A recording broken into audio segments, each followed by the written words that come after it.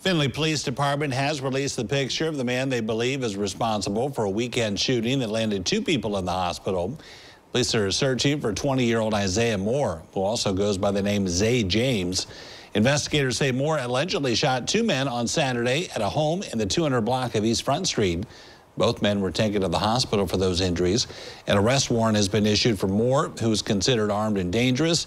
If you do have any information about his whereabouts, you're asked to contact the Findlay Police Department or your local law enforcement agency.